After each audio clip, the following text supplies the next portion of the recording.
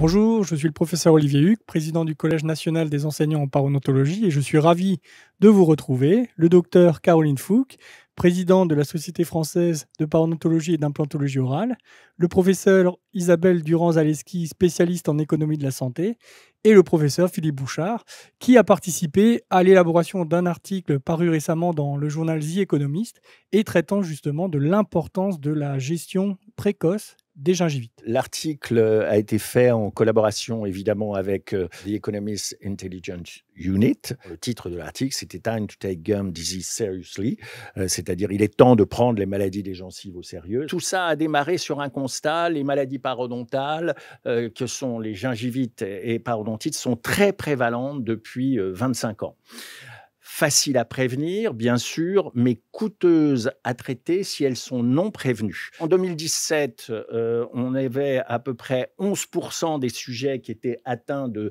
euh, parodontite sévère dans le monde. Et euh, hier, j'ai regardé les dernières données du Lancet et c'est maintenant 14%. Donc on a augmenté un tout petit peu. Alors l'objectif, c'était de calculer le rapport coût-efficacité du traitement des maladies parodontales en modélisant des scénarios.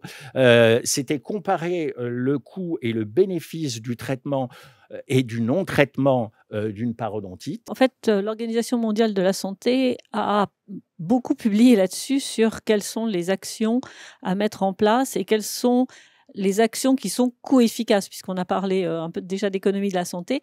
Et en réalité, on, le sait, c'est-à-dire que sur le tabac, ce qui marche le mieux toujours, c'est d'associer, bien sûr, euh, mais le plus efficace, c'est d'augmenter les prix. Alors, est-ce que vous pensez que finalement, prévenir coûte plus cher que traiter ou le même coût, moins cher?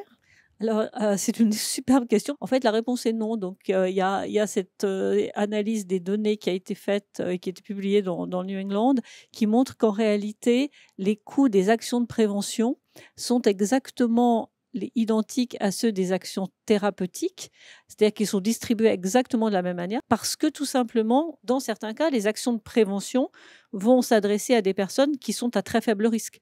Peut-être qu'il y a aussi une réflexion à avoir sur la visibilité de la profession et euh, justement ces spécificités euh, d'action.